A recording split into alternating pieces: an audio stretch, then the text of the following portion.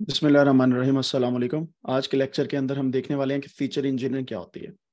और हम बड़ी डिटेल में देखेंगे कि फ़ीचर्स असल में कहाँ से निकले हैं, क्यों फ़ीचर्स होते हैं, और फीचर्स को हम किस तरीके से डिफ़ाइन करते हैं, एंड कौन कौन से प्रोसीजर्स हैं जो फीचर्स के अंदर समाये हुए होते हैं। बिलीव मी, आधे से ज़्यादा स्टेप्स आपने फीचर इंजीनियरिंग के किए हुए हैं, अगर अभी तक आप इस कोर्स में डटे रहे हैं और सारी प्रैक्टिस की है।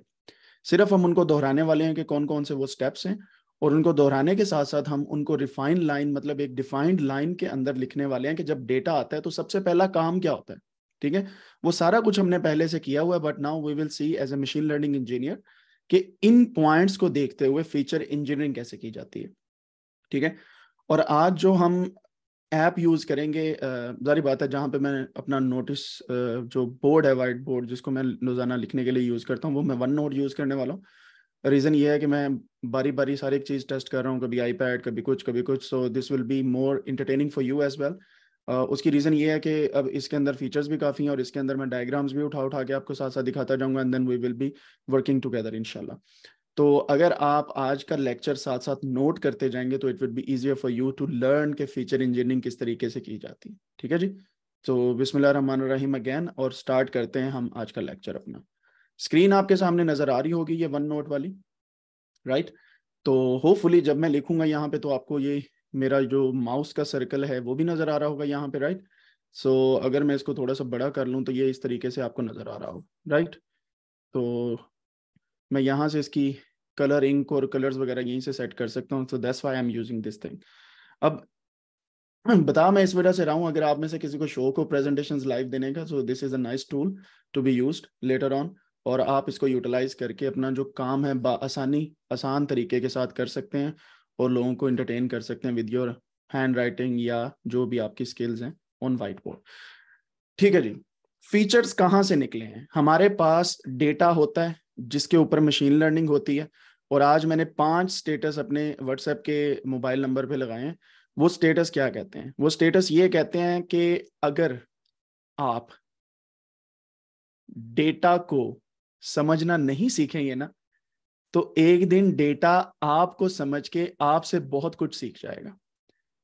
लेकिन आप उससे कोई फ़ायदा नहीं ले सकेंगे। मतलब ये कि आपका दिया हुआ डेटा लोग एनालाइज करके आपके बारे में जान लेंगे, जो आपको भी नहीं पता होगा। आपने अन इंटेंशनली लाइकनेस और डिसलाइकनेस पे क्लिक किया होता है, वो सारे का सारा डेटा जा रहा होता है। तो हमारा काम कहाँ से स्टार्ट होता है? डेटा से। अब डेटा इज़ न्यू ऑयल अगर ये बात कही जाए तो गलत नहीं है। ठीक है, बहुत ही ज़्यादा लोग इसके ऊपर काम कर रहे हैं कि ये सच में न्यू ऑयल है। तो आइंदा के दौर में जिसके पास ज़्यादा डेटा है, वो किसी भी किस्म का डेटा हो सकता है, वो ऑडियो का हो सकता है, वो वीडियोस का हो सकता है, वो टेक्स्ट का हो सकता है, वो किसी भी किस्म का डेटा हो सकता है। जिसके पास डेटा है, वो अगली दुनिया का बादशाह है, अगली दुनिया का पावा है, ठीक है, जैसे लाहौर पावा अख्तर लावा है, ठीक है।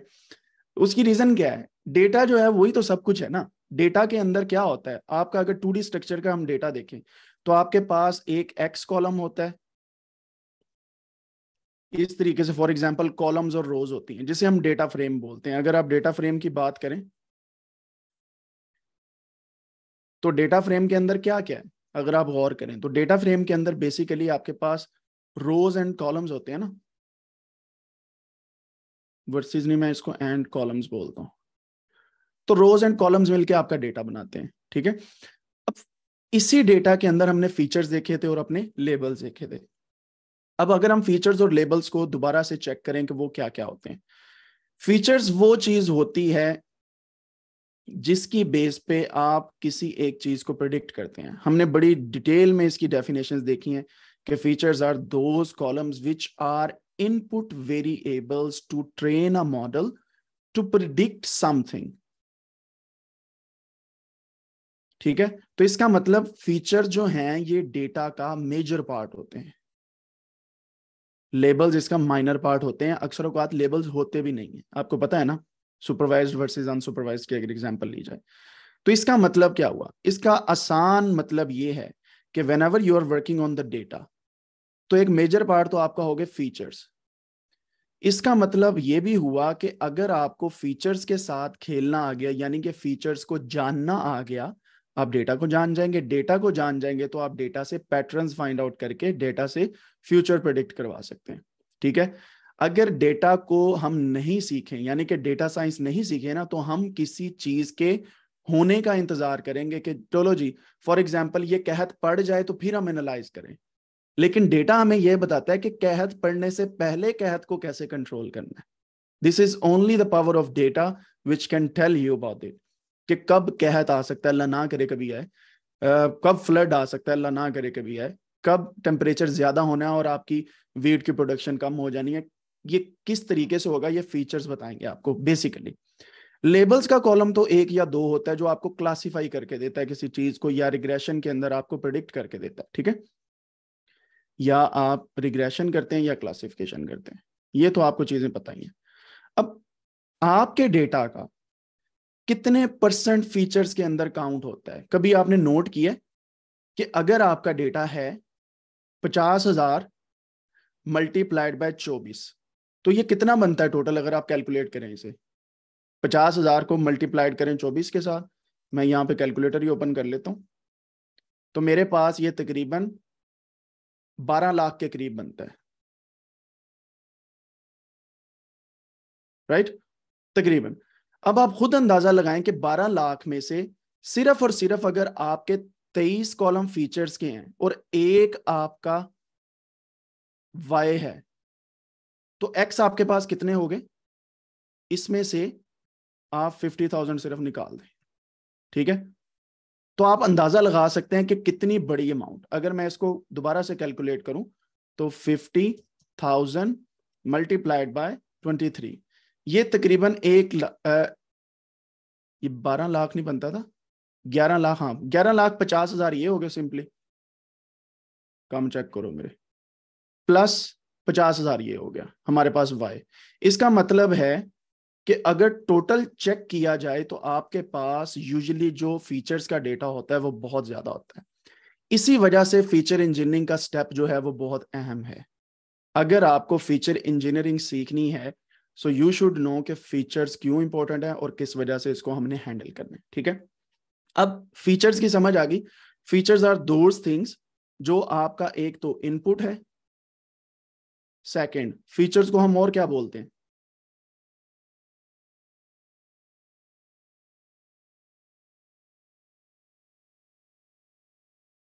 इनपुट हो गया। एक्स भी बोल देते हैं, चले माना इंस्टेंसिस नहीं। फीचर्स को और क्या बोलते हैं? प्रिडिक्टर्स इसके अलावा फीचर्स को क्या कहते हैं? जी।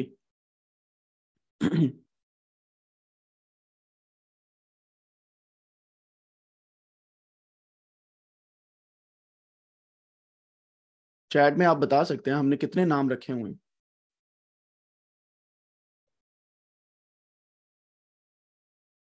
अक्सर औकात ये इंडिपेंडेंट भी होते हैं इंडिपेंडेंट भी होते हैं so we can't say independent variables हैं ये। सो so, मतलब वो चीज़ें जिनकी बेस पे आप मशीन लर्निंग एल्गोरिथम को ट्रेन करते हैं बेसिकली ठीक है? उनको हम फीचर्स बोलते हैं। अब कौन कौन से स्टेप्स हैं जो फीचर इंजीनियरिंग के अंदर इन्वॉल्व हैं? पहली बात तो ये जब आपको मैं फीचर्स की बात बता रहा हूँ उस वक्त आपको कुछ चीज़ें मद्देनजर रखनी है। उसमें कौन कौन सी चीज़ें हैं? पहली सबसे चीज़। क्या फीचर्स जो हैं, इनको मैं अभी से आगे लिखूँगा एक्स जब भी मैं फीचर बोलूँगा, साथ में एक्स लिख दूँगा। क्या फीचर्स जो हैं, वो ठीक है?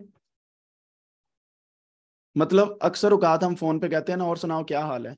तो हमने फीचर से स्टार्ट ही ऐसा करना है। हाँ भाई, और सुनाओ क्या हाल है? ठीक है? ठीक है, ठीक से मुराद is there any anomalies anomaly है कि नहीं है? एनॉमली का तो पता है ना क्या होती है। यानी कि मिसिंग वैल्यूज़ हैं, नहीं है so on and so forth outliers हैं, नहीं है so on and so forth और इस तरह की कोई भी और इसमें एनॉमली है तो हमने उसको चेक करना है, ठीक है? अब अगर मैं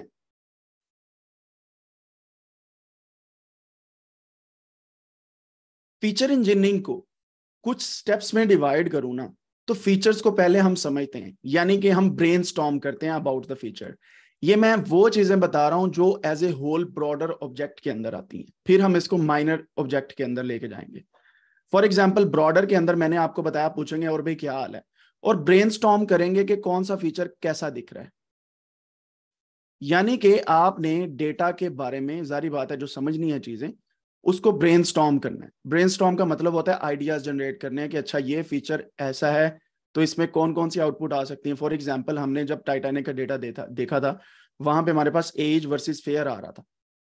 एज कैसी दिख रही है? मिनिमम क्या है? उसका मैक्सिमम क्या है? उसके चारों सिमतैन जान लेनी है आपने।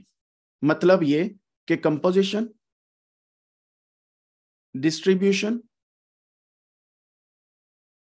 relationship and comparison ये चारों चीज़ें आपने आपस में फीचर्स की चेक कर लेनी है, ठीक है?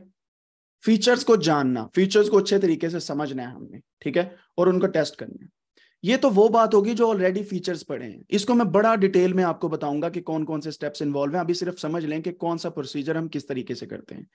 पहला हो गया फीचर्स को समझना और भी क्या हाल है ठीक ठाक हो? सब कैसा चल रही है? वो सब पूछना। तो दूसरी चीज़।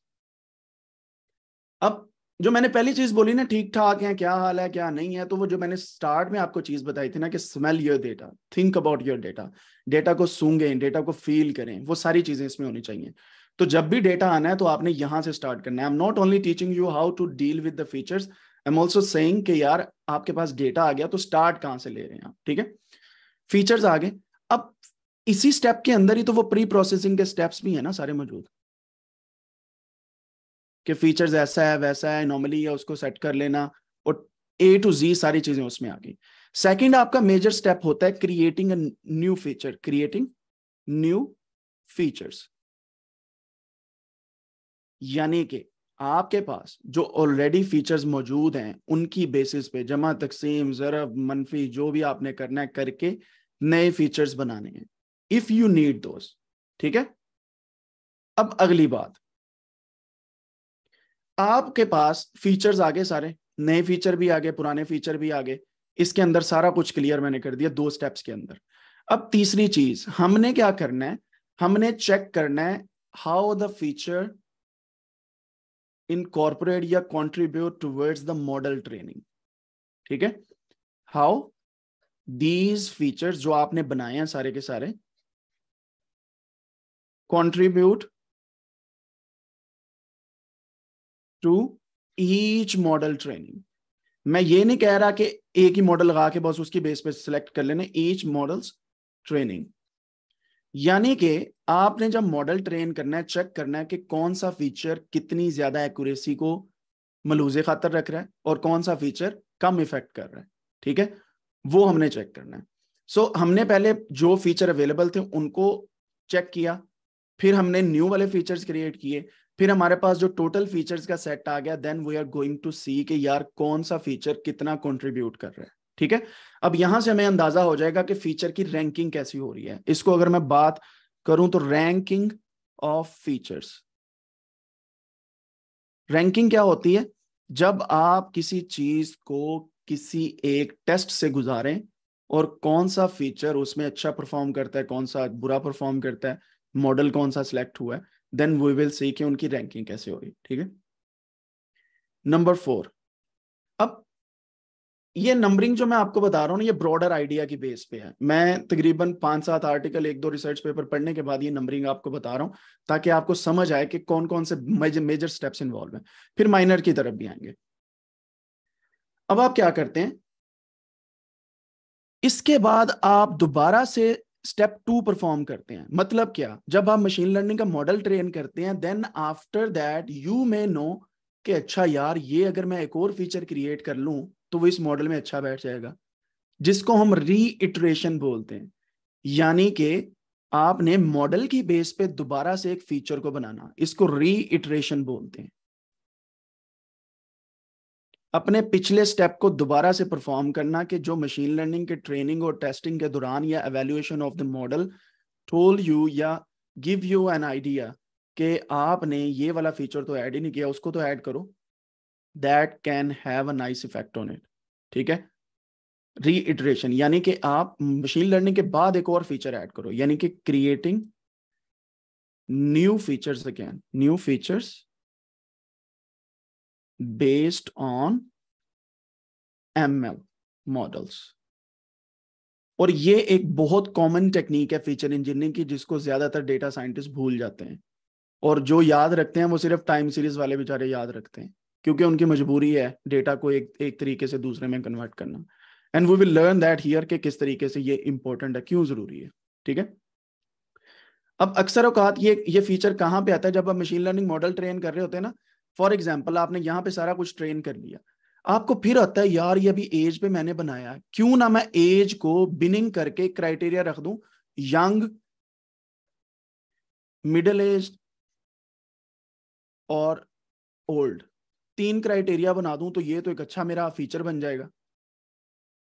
तो आप इस तरीके से अपने नए फीचर्स बनाते हैं। सो वो will see that in example as well फिर इसके बाद इसी मशीन लर्निंग के मॉडल के अंदर या आप, अगर आपके पास रिसोर्सेज कम हैं, अगर आप नहीं चाहते कि सारे के सारे 12 लाख जो आपके पास पॉइंट्स आए हैं, उनको टेस्ट करें। Then you go for feature selection ये वो स्टेप है जिसके बारे में लोग कहते हैं कि यही फीचर इंजीनियरिंग है। दे आर रॉन्ग कभी भी feature engineering simply feature selection का नाम नहीं होता। It's about engineering the features ठीक है? आपने फीचर को इंजीनियर करना, जिसमें होता है चेक करना क्रिएट करना टेस्ट करना रिक्रिएट करना। ये चार स्टेप तो हैं। उसके बाद आपकी रिसोर्सेज पे डिपेंड करता है आपके पास रिसोर्सेज कितने। आपके मॉडल की कंप्यूटेशनल रिक्वायरमेंट पे। मॉडल्स कंप्यूटेशनल रिक्वायरमेंट और आपके अपने गोल पे डिपेंड करता है कि आपने कितने फीचर सेलेक्ट करने और यहाँ पे बहुत बड़ी डिबेट है, जिसमें कल भी मैं बात कर रहा था कि लोग ये करते हैं कि अपने जो फीचर्स है ना, वो कम चूज़ करते हैं। रीजन बिहाइंड दैट उनको ये लगता है कि यार, हमने ज़्यादा फीचर किए तो हमारा मॉडल तो परसों ट्रेन होगा। मैं तो आज रातों रात ही ट्रेन करके सोना है। तो वो जो बेसब्री हो जाती है ना, वो आ जाती है लोगों में इस वजह से मशीन लर्निंग के मॉडल के अंदर डायमेंशनल रिडक्शन करने लग जाते हैं। दूसरा ये होता है, अक्सर फीचर्स का ताल्लुक नहीं होता, ठीक है? तो वो उसको निकाल देते हैं। अब फीचर सिलेक्शन के अंदर कुछ मेथड्स हैं, जो हम बाद में देखेंगे। तो अगर ये पाँच स्टेप एजेंडा आपको याद रहे, अब इसके अंदर हम स्टेप बाय स्टेप चलते हैं और इसको और भी एक्सपैंड करते हैं। पहला मैंने आपको बताया फीचर चेकिंग यानी कि और और सुनाओ क्या हाल है। ठीक है? फिर क्रिएटिंग न्यू फीचर्स सब ठीक ठाक है, लाहौर जा रहे हो, मैंने सुना। यार, इस बंदे को भी साथ ले जाओ। समझ रहे हैं बात? इसका मतलब ये कि पहले आपने क्रिएट किया features and then you are asking them यार, इस बंदे को भी साथ ले जाओ। You are creating new feature कि मशीन लर्निंग मॉडल ट्रेन करना है, यार, ये वाला कॉलम भी ले लो। ठीक है? अच्छा देन यू विल से आप लाहौर गए थे। कैसा रहा आपका सफ़र? पिछले बंदों ने तंग तो नहीं किया जो लोग आपके साथ गए थे? तो वो कहता है, यार नेक्स्ट टाइम मैंने जाना है, मैंने फलाम बंदे को साथ नहीं लेके जाना, इस बंदे को लेके जाना है। या इस नेचर का कोई और बंदा है, उसे बता दो, मेरे पास जगह है एक और बंदे की। So you recreate new features ठीक है? अब इसकी बेस पे अगर आपके पास बंदे ज़्यादा हो गए लाहौर जाने के लिए, छह हो गए हैं, पाँच की जगह गाड़ी में so what you will do you will go with feature selection ठीक है? अब इस पॉइंट पे नहीं देखेंगे कि मेरे पास तो फीचर ही नहीं है, मैं क्यों नया क्रिएट करूँ? You want see that here आपने फीचर बनाते जाना है कि यार ये भी अच्छा बन रहा है, ये भी अच्छा बन रहा है, अपने हाइपोथेसिस को देख के। ये नहीं सोचना कि मैं अभी से फीचर सिलेक्शन करने बैठ जाऊँ। रीजन क्या है? फीचर सिलेक्शन के बकायदा मेथड्स हैं जो आपको बताते हैं कि ये वाला फीचर अच्छा है फ्लाम फीचर सही नहीं है फ्लाम फीचर अच्छा है, ये नहीं सही सही है। So you have to define those things into your hypothesis अब ये पाँच steps features checking creation creation machine learning model and then reiteration and then feature selection तो ये पाँच जो मेन स्टेप्स हैं आपको याद रहेंगे होपफुली अब, अगर मैं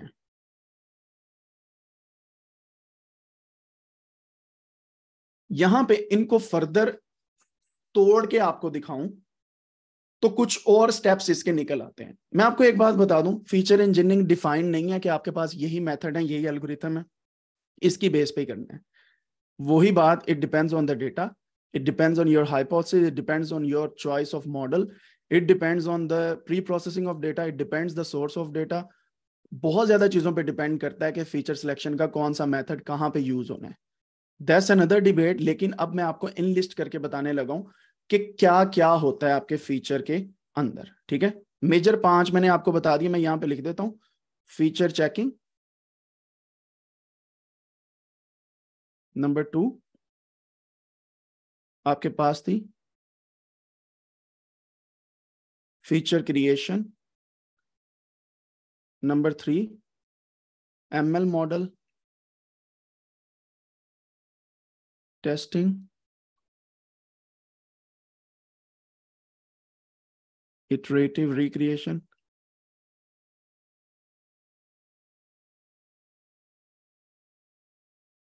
Feature selection.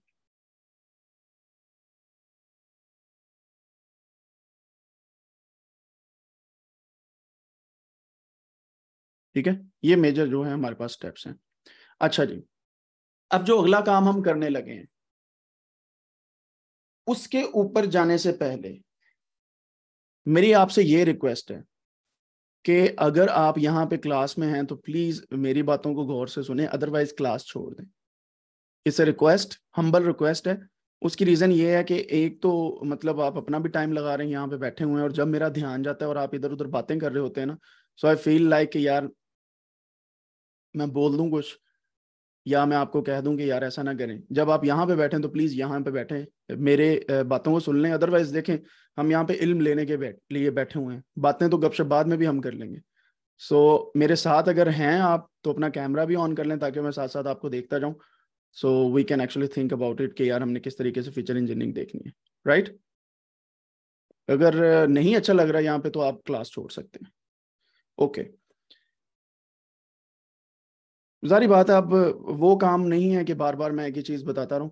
So it would be a mess then अच्छा जी। एक मिनट दे मुझे, मैं जरा अपने लैपटॉप का चार्जर का बटन फेंक लू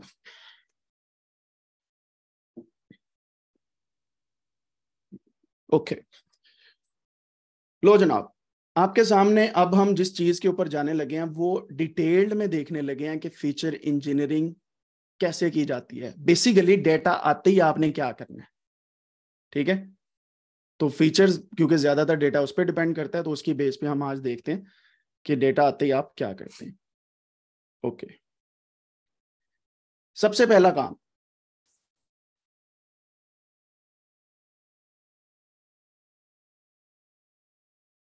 मैं इसको यहाँ पे ब्लैक कलर के अंदर मेन हेडिंग दूँगा और फिर उसके नीचे आके इसको स्मॉल हेडिंग में मैं डिफरेंट कलर से दूँगा। आपने क्या करना है? डोमेन नॉलेज देखना है उसका।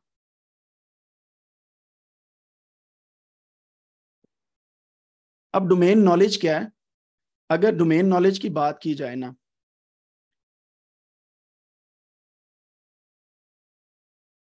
ये आपका मेटा डेटा होता है बेसिकली क्योंकि जिसने वो डेटा कलेक्ट किया है ना वो उसके बारे में इंट्रोड्यूस करवाता है कि ये डेटा किस किस्म का है। यानी कि टाइटैनिक का डेटा जिसने कलेक्ट किया है ना ही और शी विल टेल यू कि डेटा कहाँ से आया इसके इस कॉलम का क्या मतलब है अगर मैंने एम एम लिखा है इसका क्या मतलब है। सो so, आपको मेटा डेटा का पता होना चाहिए। यार आप खुद सोचे ना यहाँ पे लिखा हुआ है टेम्परेचर और आपको यही नहीं पता कि डिग्री सेंटीग्रेड में है कि डिग्री फारेनहाइट में तो आप वहाँ पे क्या एनालिसिस करेंगे बाद में। सो डोमेन स्पेसिफिक नॉलेज होना बहुत ज़रूरी है, जिसके अंदर आपका मेटा डेटा आ जाता है, ठीक है? फुल फॉर्म ऑफ़ कॉलम्स आ जाते हैं। अगर आपका नुमेरिक वेरिएबल है तो उसके यूनिट होते हैं अक्सर औकात नुमेरिकल वेरिएबल्स के यूनिट्स ठीक है? आपको वो पता होने चाहिए, अगर डिस्टेंस का यूनिट आपका है मीटर का और आपका वेलोसिटी का यूनिट मीटर पर सेकंड है तो इसकी सेंस होनी चाहिए आपको कि ये यूनिट कैसे बनते हैं। ये नहीं है कि आप उठ के सिर्फ़ डेटा एनालिसिस बन गए डेटा एनालिस्ट बन गए और आपको समझ है नहीं कि मीटर पर सेकंड क्यों कहा जाता है, ठीक है? वेक्टर का नहीं आपको पता और आपको ये नहीं पता कि अगर काउंटिंग ऑफ़ पीपल आ रही है तो उसका यूनिट नहीं होना। अगर नंबर आ रहे हैं ना तो अक्सर उकाद यूनिट नहीं होता। एज का क्या यूनिट है? ईयर है या मंथ लिखा हुआ है, आपको ये पता होना चाहिए ना, क्योंकि आपने फिर स्केलिंग भी करनी है। फेयर क्या है? यूएस डॉलर है कि पाकिस्तानी रुपीज़ है? ठीक है? आपको अगर ये नहीं पता होगा तो फीचर इंजीनियरिंग नहीं होनी आपसे, ठीक है? अगर के बीज एमबीज का डेटा है तो वहाँ पे साथ उन्होंने यूनिट दिया है या नहीं दिया हुआ, ठीक है? So you have to find out the small things in the data ठीक है? आपको पता होना चाहिए कि न्यूमेरिकल का यूनिट्स क्या है। सही हो गया? सेकेंड अगर कोई ये फुल फॉर्म ऑफ़ कॉलम्स यानी कि उनकी डिटेल वगैरह और एब्रीविएशन हो कोई। ये आपको पहले से देखनी है स्टार्ट करने से भी पहले से, कि एब्रीविएशन कौन कौन सी है। फॉर एग्ज़ाम्पल अक्सर औकात लिखा होता है टेम्परेचर को टी एम पी ये तो समझ आती है। लेकिन there are some other variables जो डाटा कलेक्टर या स्क्रैपर जो होते हैं ना, वो अपनी मर्ज़ी से लगा देते हैं। और उन्होंने बकायदा मेटा डेटा में वो दिया होता है। सही है? तो आपको पता होना चाहिए कि ये क्या है, क्यों है, ठीक है? सी पैक किस चीज़ का मुखफ है? CPEC China Pakistan economic corridor something like that ठीक है? और आपको पता है पुलिस भी किसी चीज़ का मुखफ है? तो इस तरह की काफ़ी चीज़ें होती हैं जो आपके नॉलेज में नहीं है तो ज़्यादा टाइम आप डोमेन नॉलेज को ग्रेन गेन करने में, यानी अगर आपको नहीं पता ना डेटा के बारे में तो थोड़ा सा पढ़ लें उसके बारे में सिंपली ठीक है? फोर्थ नंबर पे ये आएगा कि आपने पूरा लेआउट कर लेना कि अब मैंने layout of feature engineering process. क्योंकि आपको पहले पता होगा कि कॉलम कौन सा है, किस वजह से है, उसकी बेस पे आप फीचर इंजीनियरिंग स्टार्ट करेंगे। अब इसी से आगे आगे लिंक बनता जाएगा आपके अगले स्टेप्स का, ठीक है? पहला हो गया डोमेन नॉलेज मैंने आपको बता दिया डोमेन नॉलेज आपके पास होना ज़रूरी है। मैं दूसरी हेडिंग यहाँ पे देता हूँ। And the second thing is आपका data pre processing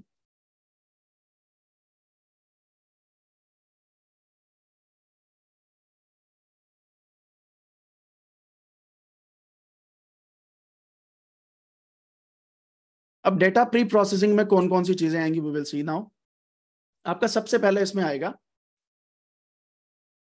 Number one handling missing data सबसे पहले ये आपने करना है। और इसके अंदर कौन कौन से प्रोसीजर्स हैं जी? मिसिंग डेटा हैंडलिंग के अंदर।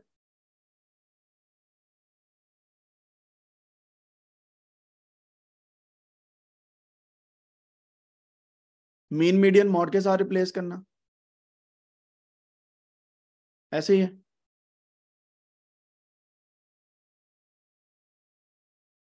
इंप्यूटेशन के तरीके हमने देखे थे रिसेंटली ठीक है? इम्प्यूट कैसे करते हैं मिसिंग वैल्यूज़ को? उसके ऊपर प्रॉपर हमारा एक लेक्चर भी पड़ा हुआ है। आप उसको भी देख सकते हैं। इम्प्यूटेशन ऑफ़ नल वैल्यूज़ या मिसिंग वैल्यूज़ ठीक है? उनको आपने देख लेना है। इसको बोलते हैं हैंडलिंग करनी है या इम्प्यूट करना है। मैंने के एन एन के मैथड और बाकी सारे मैथड आपको पढ़ा, पढ़ाए हूँ ओके अब जारी बात है, इस प्रोसेस में सबसे पहले यह है कि पहले फाइंड करेंगे, फिर चेक करेंगे कि किसके साथ रिप्लेस करना है या क्या मेथड अपनाना है, फिर उसके बाद उस मेथड को चेक करेंगे कि क्या ये अपनाने के बाद ठीक रहा है कि नहीं रहा। नेक्स्ट थिंग इज़ आपने आउटलायर्स को चेक करना है।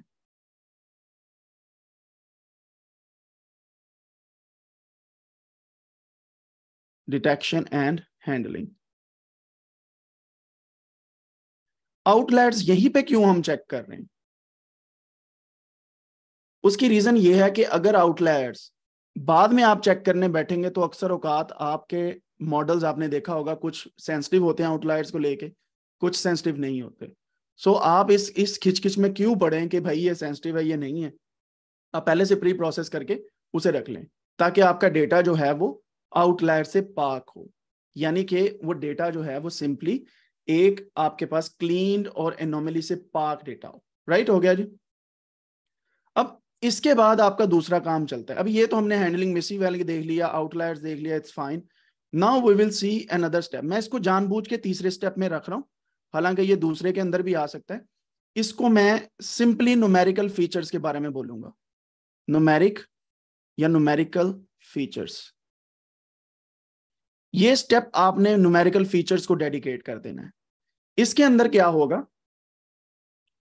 आपने सबसे पहला काम यह करना है इसके अंदर न्यूमेरिकल फीचर्स को देखते हुए। आपने चेक करना है कि न्यूमेरिकल फीचर सच में न्यूमेरिक है या नहीं। और आप कोशिश करें कि डिस्क्रीट और कॉन्टिन्यूस को एक सेपरेशन में ले जाएँ। मतलब आपको पता हो कि ये डिस्क्रीट है, ये कॉन्टिन्यूस है। बट वजारी बात है, अगर आप सिंपल न्यूमेरिक भी रखेंगे it's fine it's not a big deal लेकिन आपको पता हो शायद, मैंने आपको नॉर्मल डिस्ट्रीब्यूशन का बताया था कि एक का आपके पास कुछ इस तरीके से प्लॉट बनता है हिस्टोग्राम टाइप और दूसरे का आपके पास, क्योंकि कॉन्टिन्यूस डेटा होता है, कुछ इस तरीके से बन जाता है, ठीक है? So that's why you should know कि किस तरीके से उनको रखना है। पहली बात ये कि न्यूमेरिक फीचर्स के बारे में देखें कि कितने न्यूमेरिक फीचर्स हैं। How many are there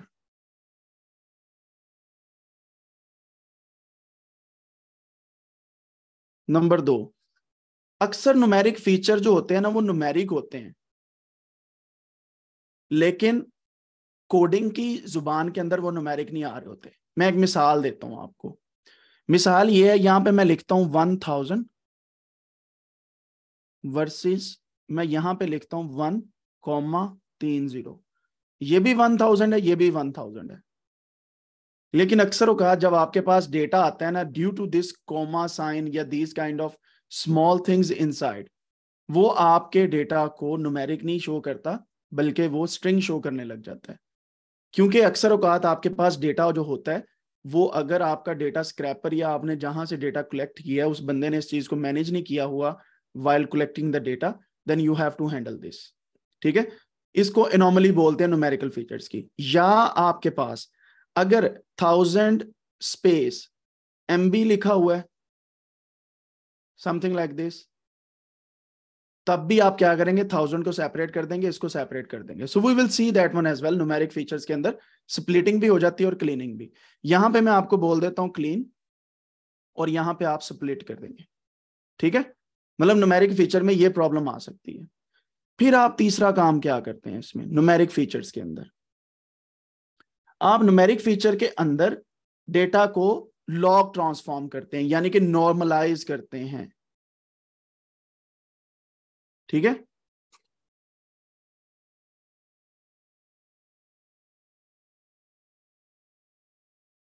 normalise करते हैं। मैंने यहाँ पे भी लिखा है ये मेगा बाइट्स वाला लिखा है। सो so, नॉर्मलाइज हम करते हैं डेटा को। अब डेटा को नॉर्मलाइज करते हुए आप क्या कर सकते हैं? लॉग ट्रांसफॉर्म कर सकते हैं, ठीक है? जो हमने किया भी था। तो लॉग ट्रांसफॉर्मर्स वगैरह यूज़ कर सकते हैं। एंड देन हम डेटा को अच्छा नॉर्मलाइज लॉग ट्रांसफॉर्म से भी हो जाता है। और अगर आप डेटा को स्केल करेंगे ना, तब भी डेटा नॉर्मलाइज हो जाता होता है। स्टैंडर्ड स्केलर या मिन मैक्स स्केलर की वजह से, ठीक है? स्केल द डेटा तो इन दोनों तरीकों से भी आप कर सकते हैं। ये दोनों स्टेप्स को इकट्ठा भी लिख सकते हैं सेपरेट भी। स्केल द डेटा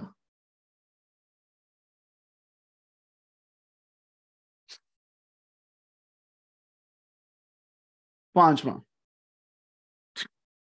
इसी के अंदर। आपने स्क्यूनेस को हैंडल करना है।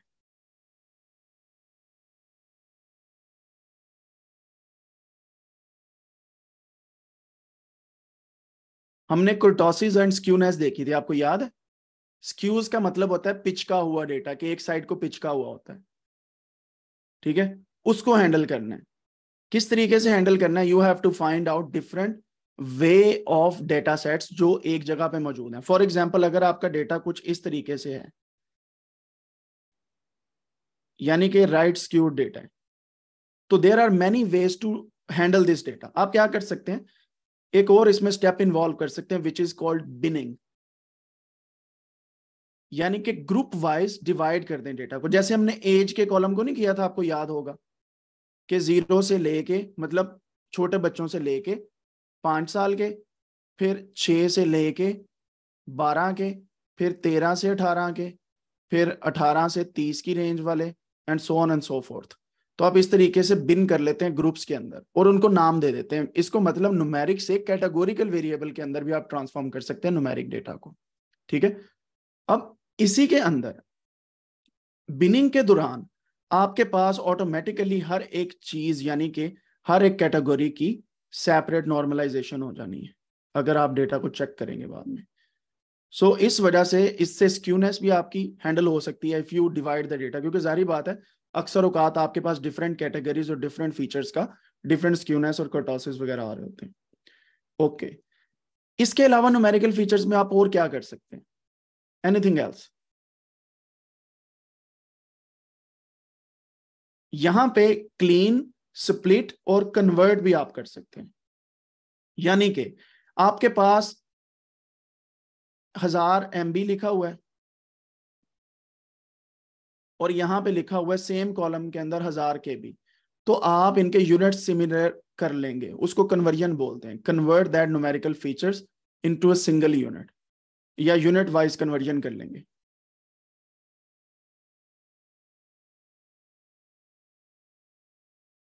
ठीक हो गया?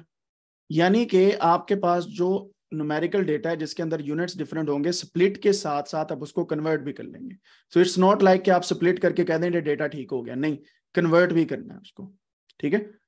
So you need to see that one as well अच्छा जी न्यूमेरिकल फीचर्स का और कौन सा तरीका कार है इसके अलावा? और हम क्या कर सकते हैं?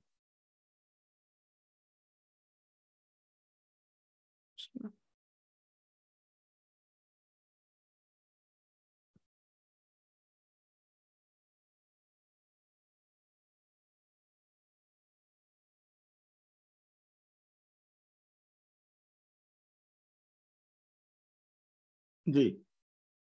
कोई आ रहा दिमाग में? चलें, हम कहीं पे जा नहीं रहे, इधर ही हैं, देखते हैं अगर किसी के दिमाग में कोई आता आइडिया नाउ हमारे पास तीन स्टेप हो गए domain knowledge data preprocessing numerical features अब अगला क्या होगा? हमने कैटेगोरिकल फीचर्स को देखना है। नंबर फोर इज़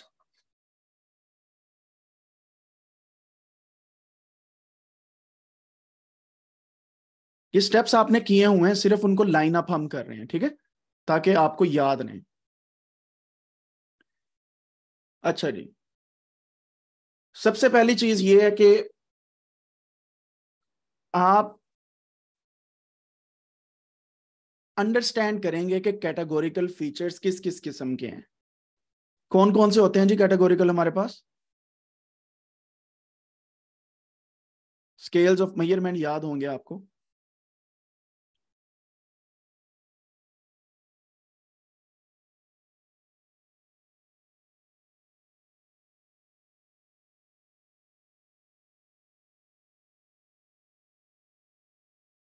पहला होता है आपका नॉमिनल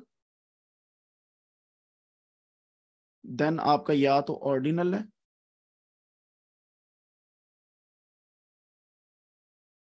ठीक है? बाइनरी किसके अंदर आता है?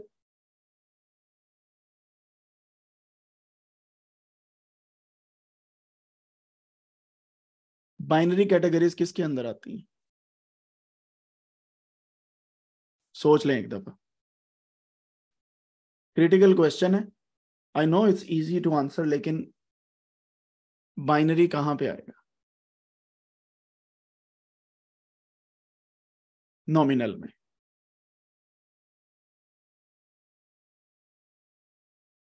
इसका मतलब है कि आपके पास किसी भी किस्म का कैटेगरी का वेरिएबल है। You can actually deal here अगर आपको पता है कि वो कौन सा वेरिएबल है। ठीक है? दूसरी चीज़ हमने इसमें क्या करनी है?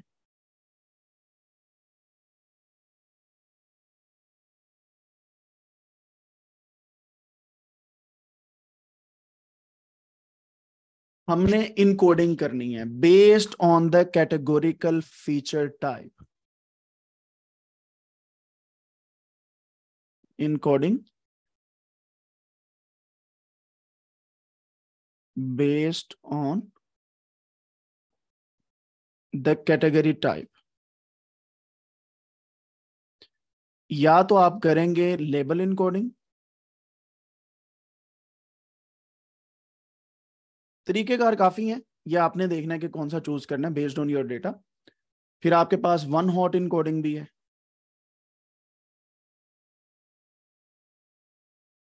टारगेट इनकोडिंग भी है आपके पास।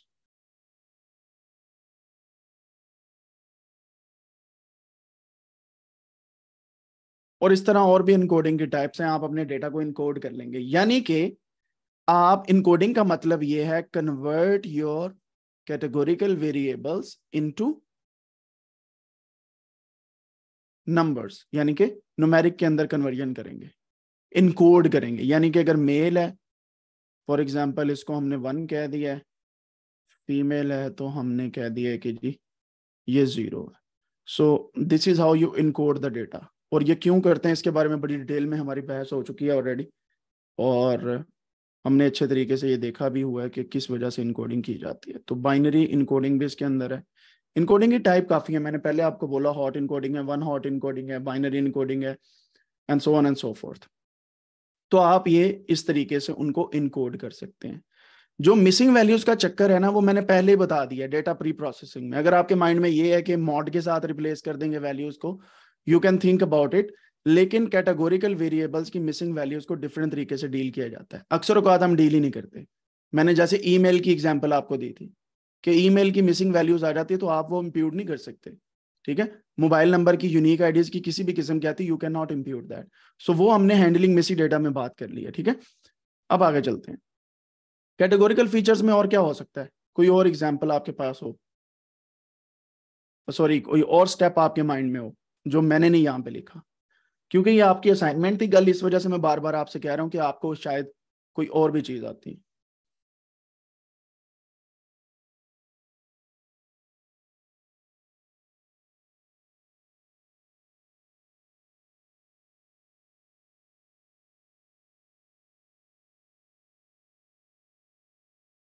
ठीक हो गया। अच्छा अब ये तो हमने बता दिया कि न्यूमेरिकल फीचर्स ये होते हैं कैटेगरीज ये होती हैं। यहाँ पे न्यूमेरिकल फीचर्स के अंदर हमने एक तो ये वाला हमारा कॉलम था ना जब, हमने स्प्लिट करके दो कॉलम्स में से कन्वर्ट किया। सॉरी यहाँ पे स्प्लिट किया, यहाँ पे क्लीन किया। क्लीन करके तो वो साफ़ हो जाता है स्प्लिट करके दो कॉलम्स बन जाते हैं। तो इसके अलावा हम कन्वर्जन या, यहाँ पे मैं साथ ही लिख देता हूँ। न्यूमेरिक डेटा की बेस पे क्रिएट न्यू कॉलम्स ताकि इसी के अंदर ही रहे वो पॉइंट और हमें आगे ना उसको लेके जाना पड़े। ठीक है?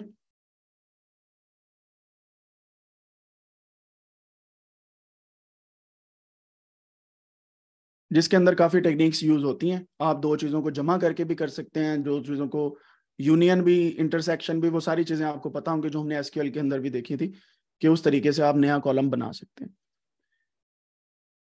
तो जितनी आप इसके आगे तशरी बांधेंगे, वो तकरीबन इन्हीं चीज़ों के अंदर आ जाती है इनकोडिंग और टाइप ऑफ़ इनकोडिंग वगैरह के अंदर राइट पांचवा स्टेप चलते हैं जी, पाँचवें स्टेप पे। ये वो वाला स्टेप है जो अभी तक हमने सही तरीके से नहीं देखा। उसकी रीज़न ये है कि this is a part of time series लेकिन मैं यहाँ पे बताऊँगा। इस स्टेप को हम बोलते हैं डेट एंड टाइम वाले फीचर्स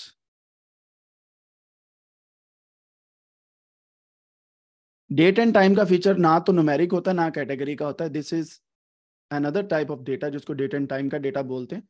इसकी फॉर्मेशन भी डिफरेंट होती है, यानी कि इसका फॉर्मेट भी डिफरेंट होता है। Like date date month month year year year year so on and so forth तो कभी कभी ये इसके अंदर कौन कौन सी चीज़ें हम कर सकते हैं? पहली चीज़ रीफॉर्मेट अक्सर औकात अगर आपका डेटा यूरोपियन स्टाइल में आया तो ईयर पहले आया होगा मंथ बाद में आया होगा, फिर डेट आई होगी। तो अक्सर कन्फ्यूज़न तब बनती है अगर मैं यहाँ पे ज़ीरो तीन ज़ीरो चार लिखूँगा। ये इसको देख के तो आपको पता चल जाएगा कि ये तीन अप्रैल है। ठीक है? अगर मैं बिल्कुल ही ज़ीरो चार ज़ीरो तीन लिख दूँ और आपको मैंने ये ना बताया हो कि डेट की फॉर्मेट क्या है तो आप क्या कह सकते हैं, या तो इसको चार मार्च कहेंगे या तीन अप्रैल कहेंगे। ठीक है? और साथ में अगर मैं 2023 लिख देता हूँ। So this is why you need to know the domain knowledge and the columns जो मैंने स्टार्ट में बताया, ठीक है? उससे आपको पता चलेगा इसकी फॉर्मेट क्या है। अगर वो फॉर्मेट वहाँ पे नहीं मेंशन तो मोस्ट प्रोबेबली कॉलम के नाम के साथ ब्रैकेट में लिखी होगी। If still that is not there तो उसने बकायदा आगे जाके आप बड़े नंबरों पे देख सकते हैं कि डेट की फॉर्मेट क्या है। मतलब 12 से ऊपर महीना नहीं जाता। जो डेट है वो 31 तक चली जाती है। So from there you can have an idea कि इसमें मंथ कौन सा है और डेट कौन सी है। तो उस तरीके से आप, ठीक है रीफॉर्मेट कर सकते हैं। समझ आ गई बात की? क्योंकि टाइम सीरीज़ का डेटा होता है, उसमें महीने होते हैं ना। पूरे के पूरे डेट्स आपके पास आ रही होंगी। So based on then you can reformat the data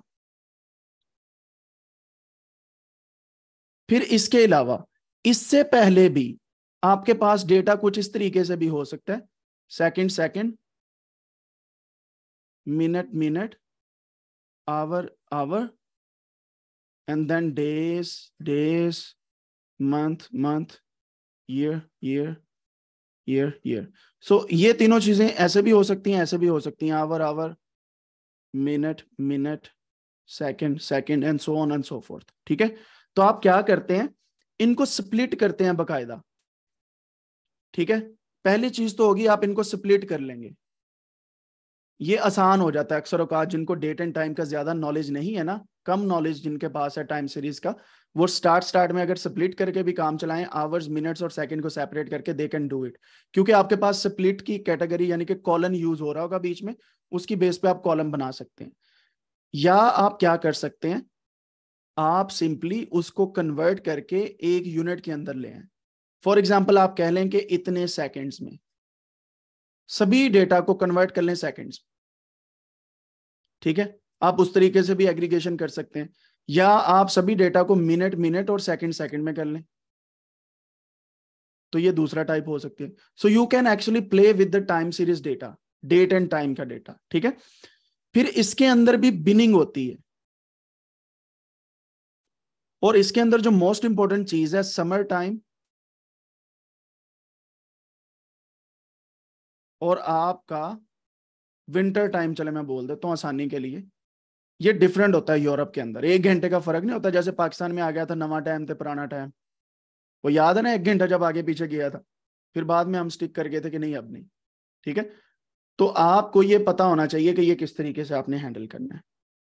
क्योंकि वो एक घंटा आपने खुद ऐड करना होता है वहाँ पे। तो जब चेंज होता है, उस डेट का भी आपको पता होना चाहिए। जब चेंज वापस आती है, उसका भी पता होना चाहिए। और ये इंटरनेट पे दी गई होती हैं चीज़ें।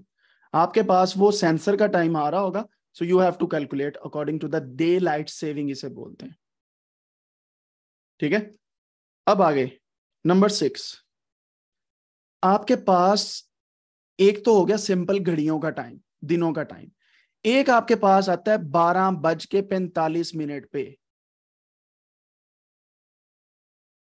ठीक है? वो जो टाइम है, उससे आप कैलकुलेट करते हैं तेरह बज के चालीस मिनट तो इसमें से माइनस करके आप मिनट्स का एक नया कॉलम बनाते हैं। क्रिएटिंग न्यू कॉलम इसकी मिसाल मैं ऐसे देता हूँ। अक्सर औकात आप टाइम ऑफ़ फ़्लाइट नहीं कैलकुलेट करते।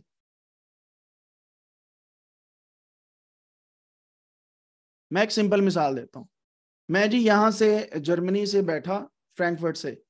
और इस्तंबुल मेरी फ़्लाइट लैंड की। So I have to calculate कि मैं कितने घंटे में प्लेन मेरा। So what I can do मैं स्टार्टिंग टाइम से एंडिंग टाइम जो है मेरे पास आ रहा, वो चेक कर सकता हूँ। इसमें एक और साइंस भी आ जाती है टाइम सीरीज़ में। वो क्या है? ये है जर्मन टाइम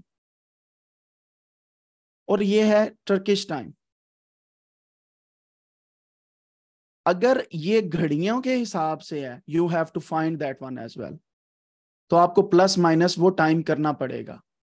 अगर वो घड़ियाँ, यानी कि टाइम जो है जीएमटी के हिसाब से है then you can also calculate for example GMT plus two यहाँ पे है, यहाँ पे जीएमटी प्लस थ्री अगर है so I can have a nice calculation at the end कि मेरा टाइम कितना लगा, ठीक है? समझ आ रही ना बात की? मैं इसकी मिसाल ऐसे देता हूँ, मैं बारह पैंतालीस पे चला और तेरह चालीस पे पहुँचा। तो अगर आप गौर करें यहाँ पे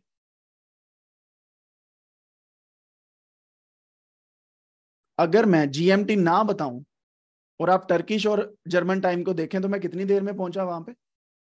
You can actually calculate minus पाँच. सिंपली सो इस वजह से ये मसले मसाइल करते हैं, ठीक है?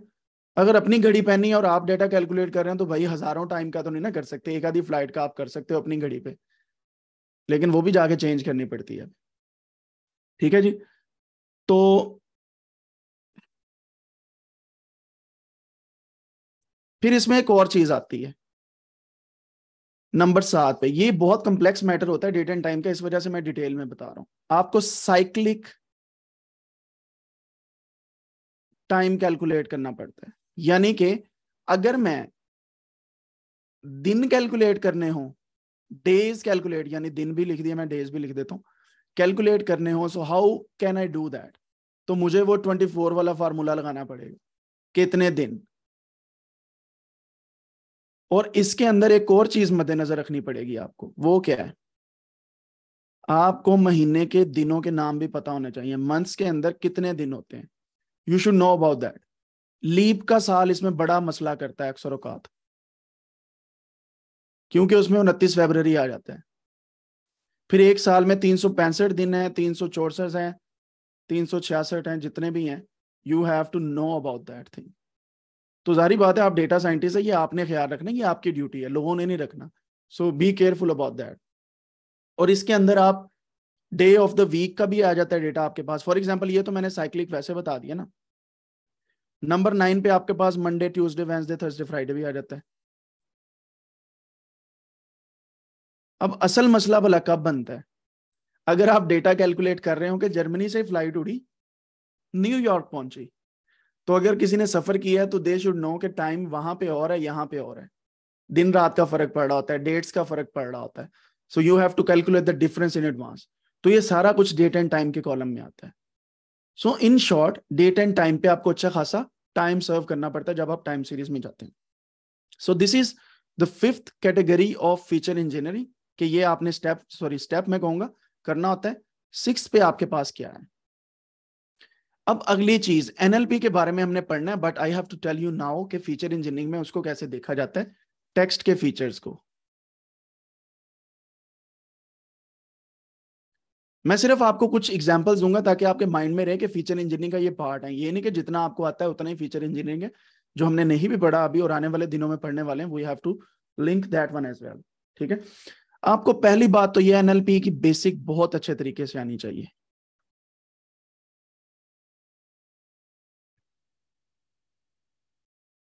ठीक है?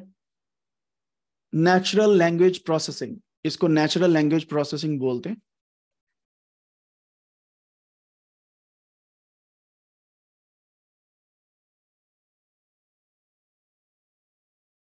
इसकी बेसिक आपको पता होनी चाहिए। बेसिक क्या है? टोकनाइजेशन वेक्टराइजेशन इधर उधर की जो भी टर्म्स हैं, वो आपको पता होनी चाहिए। आपको पता होना चाहिए कि T F I D F क्या होता है? आपको पता होना चाहिए कि आपके पास बैग ऑफ़ वर्ड्स क्या होते हैं? आपको पता होना चाहिए एम्बेडिंग क्या होती है टॉपिक मॉडलिंग क्या होती है, ये कुछ टर्म्स हैं जो टेक्स्ट के फीचर के अंदर आती हैं। मैं सिर्फ़ यहाँ पे लिखूँगा, इसको एक्सप्लेन नहीं हम करते क्योंकि एनएलपी एक एडवांस टॉपिक है तो जब हम उस पर जाएँगे फिर देखेंगे। आपको सबसे पहले तो एनएलपी की बेसिक आनी चाहिए जो मैंने यहाँ पे लिख दी। एंड इन इस बेसिक के अंदर इसकी कुछ टर्म्स हैं वो लिख देता हूँ। टोकनाइजेशन आपको पता होना चाहिए। टोकनाइज क्या होता है? वेक्टराइज किसी चीज़ को करना हो तो वेक्टर के अंदर कन्वर्ट करने के लिए हम कौन सी चीज़ को यूज़ करते हैं? फिर उसके बाद हमारे पास T F I D F जो है, वो भी इसी से मिलता जुलता ही है दोनों से but we will see that one फिर नंबर फोर पे बैग ऑफ़ वर्ड्स कैसे हैं और किस तरीके से आपने स्केल किया हुआ है? आपके पास होमोजीनियटी है या नहीं टेक्स्ट के अंदर, ठीक है? फिर आप कितनी लिमिट रख रहे हैं? वर्ड्स को इम्बेड कर रहे हैं कि नहीं? सो वर्ड्स इम्बेडिंग आ जाएगा। एंड देन हमारे पास टॉपिक मॉडलिंग आ जाएगा। So on and so forth we will see these things लेकिन आप इसकी भी फीचर इंजीनियरिंग करते हो भाई जब आप एनएलपी के अंदर जाते हैं ठीक है? सो so, ये नहीं है कि सिंपली आपने उठा के वैसे टेक्स्ट रखा और आपको सेंटिमेंट एनालिसिस होके आ जाएगा ऐसा नहीं होता। There are many many things involve in that आपको कीवर्ड्स देखने पड़ते हैं लॉट ऑफ़ थिंग्स आते हैं। बट इट हैपन्स ये भी आपके पास फीचर इंजीनियरिंग की एक कैटेगरी में आता है ठीक है? नंबर सेवन नंबर सेवन के अंदर हमारे पास इमेज फीचर्स जो होते हैं, उसको कैसे डील किया जाएगा? मतलब अगर आपके पास इमेज का फीचर्स आ जाते हैं इमेज क्लासिफिकेशन का आप डेटा कर रहे हैं, ठीक है? एनएलपी का डेटा तब आएगा जब एनएलपी के डेटा को कर रहे होंगे टेक्स्ट फीचर्स और ये जो डेट एंड टाइम का, ये टाइम सीरीज़ में आएगा। तो इमेज क्लासिफिकेशन का कंप्यूटर विजन के अंदर आ रहा होगा। इसके अंदर आप चेक करते हैं कि ऑगमेंट क्या करना है किसी चीज़ को, क्या आपने डेटा को रेप्लीकेट किया या नहीं किया डेटा को फ्लिप किया या नहीं किया सो so, आप पिक्सल्स वगैरह देखते हैं कितनी डेप्थ है आपकी फ़ील्ड कितना है ठीक है? एक्स और वाई की वैल्यूज़ क्या है? कलर है बाइनरी कलर है आरजीबी है आरजीबी की वैल्यूज़ कितनी से कितनी रेंज कर रही है so on and so forth there are many many things on there ठीक है?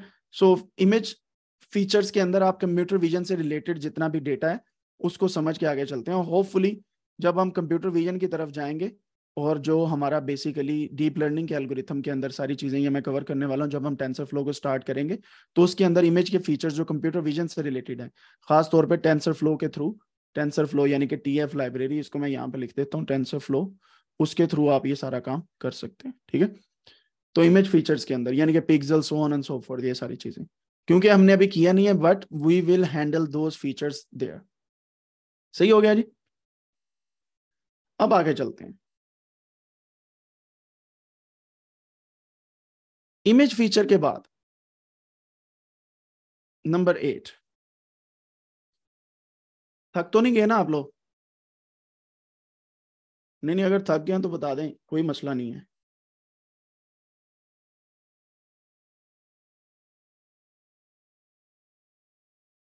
अब हम जाते हैं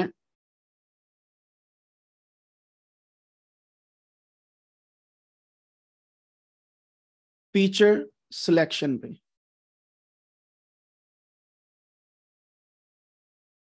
अच्छा जो मैंने क्रिएशन ऑफ़ फीचर्स है ना, वो हर कैटेगरी में आपको बता दिया हुआ है, ठीक है?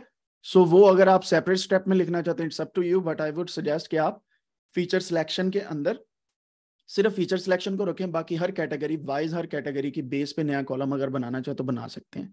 समटाइम्स इट हैपन्स कि आप दो या तीन किस्म के कैटेगरीज को मिला के एक कॉलम बनाते हैं। नुमेरिक फीचर्स का कैटेगरिकल फीचर का या डेट एंड टाइम की बेस पे एक कॉलम बना रहे होते हैं, ठीक है? मतलब मंडे को जो सिर्फ़ मेल्स एक कॉलेज में आ रहे हैं, उनका अकाउंट या उनकी एज देखना। तो आप तीन चीज़ों को मिला के एक कॉलम बना रहे होते हैं so you can also do that creation of hybrid column ठीक है? हाइब्रिड वही चीज़ होती है जो एक या दो या दो से ज़्यादा चीज़ों से मिलकर बने। ओके okay, तो फीचर सिलेक्शन की टेक्निक्स की तरफ़ चलते हैं। ये है वो टॉपिक जिसको आदि अवाम ये कहती है कि फीचर इंजीनियरिंग फीचर सिलेक्शन का नाम है। But that is wrong feature engineering में पिछले सारे स्टेप्स हैं। And then you do one of the step जिसको बोला जाता है फीचर सिलेक्शन पहला आपके पास चार किस्म के मेथड होते हैं। मैंने कल भी बताए थे। Filter method wrapper method embedded method and dealing with multicollinearity या जिसको आप डायमेंशनैलिटी रिडक्शन भी बोल सकते हैं बेसिकली ठीक है? तो मैं यहाँ पे स्टार्ट करूँगा फ़िल्टर मेथड से। फ़िल्टर मेथड नंबर दो, आपका है रैपर मेथड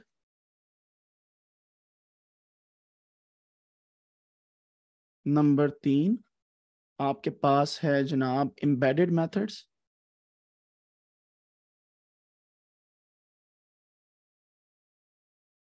नंबर फोर ये आप इसको डायमेंशनैलिटी रिडक्शन भी कह सकते हैं सिंपली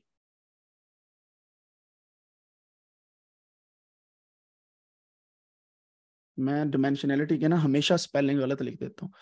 पता नहीं आप में से भी कोई ऐसे लिखता है या नहीं, लेकिन मैं लिख जाता हूँ।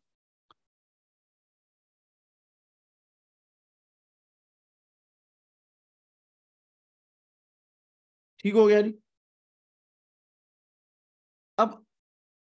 ये चार के चार मेजर टेक्निक्स या मेजर मेथड्स हैं। Filter method wrapper method embedded method and dimensionality reduction ठीक है? इन चारों में कौन कौन से एल्गोरिथम यूज़ होते हैं? कैसे इनको परफॉर्म करने उस पर हम ज़्यादा फोकस करने वाले हैं। और डायमेंशनैलिटी रिडक्शन क्यों मैंने यहाँ पे रखा है? और फीचर इंजीनियरिंग का यहाँ पे टास्क क्यों आया क्योंकि हम अनसुपरवाइज मशीन लर्निंग में सुपरवाइज्ड एमएल को पहले से पढ़ रहे हैं और उसमें हमारे पास डिमेंशनैलिटी रिडक्शन एक टास्क है हमारा। So that is why I am using this technique to teach you all of this अब इसके बाद अच्छा ये इसको मैं अगले लेक्चर में आपको बताने वाला हूँ, यानी कि ब्रेक के बाद। मैं सिर्फ़ कंप्लीट कर लूँ स्टेप कौन कौन से। उसकी रीजन ये है कि आपने, वरना ना दिमाग हिल जाएगा आपका। तो मैं नाइन्थ स्टेप पे जाता हूँ। कुछ एडवांस टेक्निक्स भी होती हैं। उसकी तरफ़ ये सारे के सारे स्टेप हमने बड़ी डिटेल में पढ़ने हैं। बाकी हमने पढ़ा दिया हुआ है। तो इसके बाद जो अगला लेक्चर है, उसके अंदर ये सारा बताना है, आज ही मतलब कल नहीं, आज ही, ये भी अपलोड हो जाएगा, इसके बाद ही तो उसके अंदर हम देखेंगे। नाइन्थ पे हमारे पास क्या आता है? आपके पास एडवांस फीचर इंजीनियरिंग टेक्निक्स हैं।